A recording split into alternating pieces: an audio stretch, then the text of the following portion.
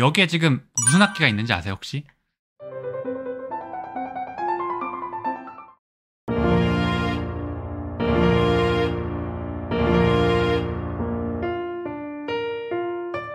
여러분 요 첫 마디를 보니까 생각이 난 건데 그 여러분 운명교향곡 아시죠 다들? 어, 운명교향곡 1악장에 이거 시작할 때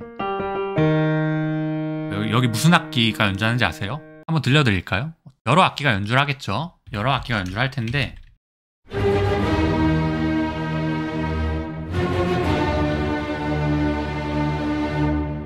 여기에 지금 무슨 악기가 있는지 아세요 혹시? 첼로, 첼로 있겠죠. 바이올린도 있겠죠. 더블 베이스도 있겠죠.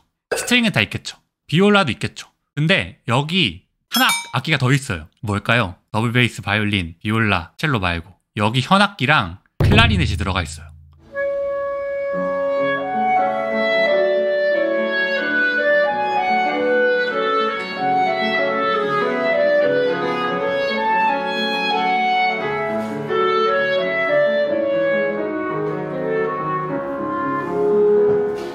하나도 안 들리죠, 근데. 한 번 더 들어볼까요?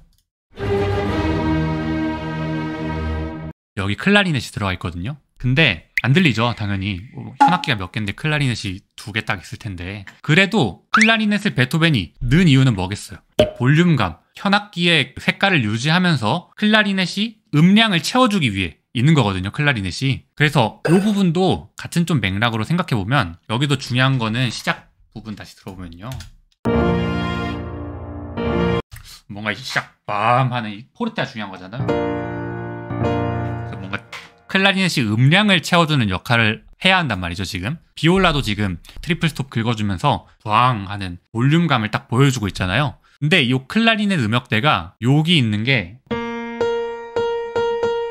요 소리가 굉장히 튀어오르는 소리입니다. 그래가지고 요게 볼륨감을 딱 채워준다기보다는 또 멜로디 선에 있는 느낌이에요. 그래서 요, 요 클라리넷이 옥타브 떨어져서 여기 있으면 어떨까 하는 게 가장 먼저 좀 드는 생각이에요. 그래서 요게 강조되는 게 좀 이렇게 아래로 무게감이 생기게